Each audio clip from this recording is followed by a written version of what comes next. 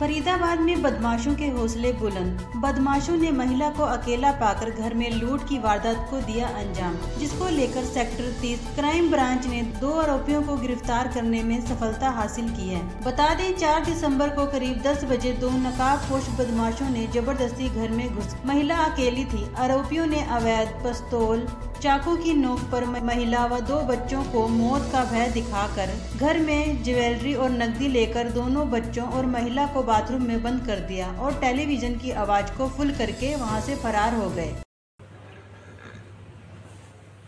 ACP साहब, आज press conference बुलाई है, क्या है पूरा मामला और किस विषय पर बुलाई है? देखिए, आदरणीय सीपी साहब, फरीदाबाद श्री विकास अरोड़ा तथा डीसीपी क्राइम मुकेश मल्होत्रा के दिशा निर्देशों का कार्य करते हुए हमारी क्राइम ब्रांच तीस ने महिलाओं को घर में अकेला पाकर डकैती करने वाले एक गिरोह को पकड़ने में कामयाबी हासिल की है। इसके अंतर्गत दिनांक चार दो दो हज़ार तेईस को शाम को करीबन नौ दस बजे सेक्टर पिचपन एरिया में एक घर में, अकेली महिला को पाकर दो नकाबपोश बदमाश घर में घुसते हैं। उनको पिस्टल और चाकू दिखाकर मौत का भय दिखाकर उनको धमकाते हैं और बाथरूम में बंद करके घर में रखी हुई ज्वेलरी व पैसे लूट के ले जाते हैं। इस गिरोह को पकड़ने में हमारी क्राइम ब्रांच तीस ने सात दिन के अंदर अंदर कामयाबी हासिल की है। तो इसमें लोग खड़े हैं? इसमें दो लोग शामिल थे दोनों लोग पकड़ लिए गए हैं। तो क्या क्या वारदात में जो है कुछ मिला या उससे कहाँ कहाँ लूटा गया? रिकवरी क्या क्या हुई सर? अभी इनको कल शाम को अरेस्ट किया है अभी रिमांड लेके और रिकवरी की जाएगी। तो अभी पुलिस क्या कार्रवाई कर रही है?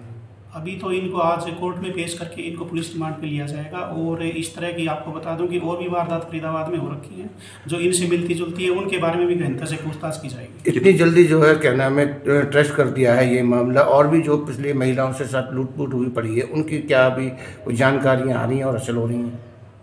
इससे मिलती जुलती एक वारदात और है उसके बारे में पूछताछ की जाएगी हो सकता लुटेरों का नाम क्या है? उम्र कितनी है? नाम इनका एक फिरोज है और एक, एक गोविंदा है ये दोनों जीवन नगर के रहने वाले हैं।